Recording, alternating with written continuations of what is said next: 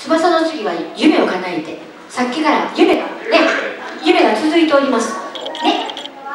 ドラえもんが夢を叶えてくれますね。そんなことになるとは夢夢をはい。でもね夢ってあの別に夢見たからってなんか夢を願ったところでお腹が膨れるわけでもないしね。だけど夢っていうのはある意味希望かもしれないしで、まあ、怖い夢っていうのもありますけど自分が願望的な夢はねやっぱり自分のモチベーションを上げますからね夢を見ない人夢を希望を持たない夢を実現したい夢を持たないっていうのはもう人生のね最大の損失でございますんでね皆さん若い人たちもこうなりたいという思いを、ね、希望的な夢を持ってくださいよ。っていうのは無理かな。見たねい見たい時に見るかな。まあそれもいいよね。はい。夢を叶えてドラえもんさあいろんな道具が出てきますよ。皆さんはどの道具が好きでしょうね？ね？私はどこでもドアです。いつでも旅行できる。ね？パッと外国に行ってパッと帰ってきて。ね？はい。では夢を叶えてドラえもん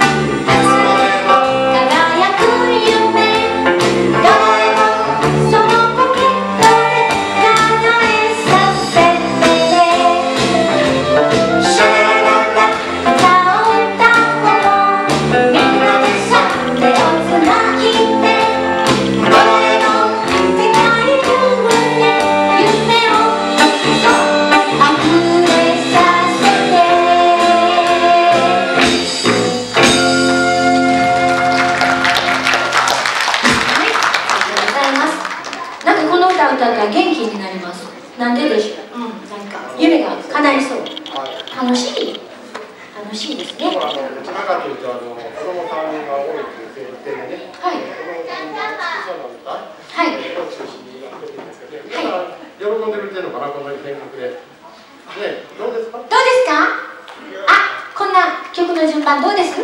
楽しいですか？OK ですか？あのあ子供じゃなくてもこういう曲をね、また歌ってるうちに元気出ますよね。はい、無理やり押し付けてすみません。いいわでもお孫さんとかねいらっしゃる方だったらねうんあのあ、あそうそう、それもあるね。そう孫と一緒に歌おうかなとかね来てよし、帰ってよし。のお孫さんがね、元気ですからね。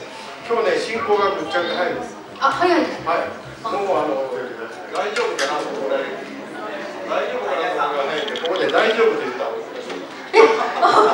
え先に？もう先に行きましょう。あ先に大丈夫行くそうですなので、これはあの、皆さん、今日ここでお越しの皆さんの99人までは99%ご存じない歌なんです。でもこの歌は、ぜひ皆さんに覚えてほしいという歌なので、あの、年齢関係なく、これはあの、八代亜紀がね、えー歌ってる歌で、大丈夫っていう歌なんです。西川きよしも大丈夫、大丈夫っていうのを歌ってますけどね。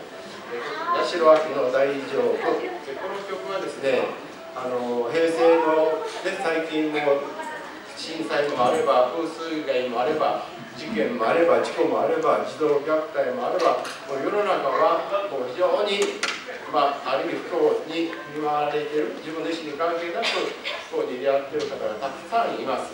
誰のせいでもないんでしょうけどね。ですけどあのその一人一人の人の人生がこれから先どうなるかなね、自分がどの立場にいたらもう先真っ暗かなっていう時もありますがあの大丈夫。いつかは人生に必ず春が来るよ。ですからね皆さんに勇気を出して将来に期待を持ってね頑張ってくださいねっていう激励ソングで熊本の大震災があった時に皆さんがねあのその歌を大変好きなんで八代家熊本県出身ですのでね。その意味も含めて熊本の震災の応援歌にもあるというものでございます。今日あの私たちはこれを来月から定例の歌声サロンの会場でメッセージソングとして毎月皆さんに歌っていただくようにしてるんですが、え私たちもまだ楽譜を手に入れて一月一月でございますんで、えーメロディーを聴いて楽譜にしたのが箕原さんでね。すごいでしょ？どっかから楽譜を買ってきてやめて。CD を聴いて楽譜にするんですからね。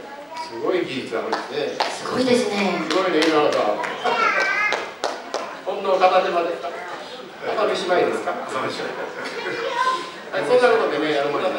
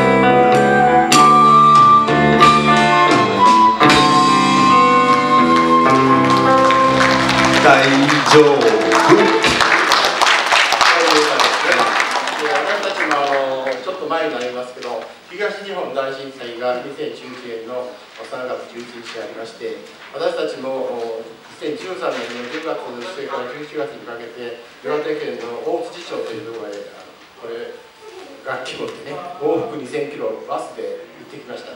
やはりあのそういうところに行って現地を見てきてその人たちの出会った人たちの顔を思い出してるとやっぱり震災の後のことを私たちはもう今ちょっと行けませんけどもあの人たちどうしてるかなって思うそういう思いやりの気持ちがねやっぱりその人たちに何らかの役に立ってるのかなという気もしますし熊本の人たちも広島の方もいろいろありましたけどねそんなことを思うとこの歌を全てこの歌を歌って大丈夫ですよっていうふうにね皆さんに思いを届けてあげたいなとそういうことでございます。え草津の方では毎月第1月木の午後2時からそして、えー、近江八幡では第2木曜の午後2時から私たちは定定例の歌声サロンをしておりますのでもしお近くでご興味がありましたらぜひお出かけください、えー、最近また部屋が入りきれないくらいになってきましてあのできたら草津は木曜日の方が嬉しいです。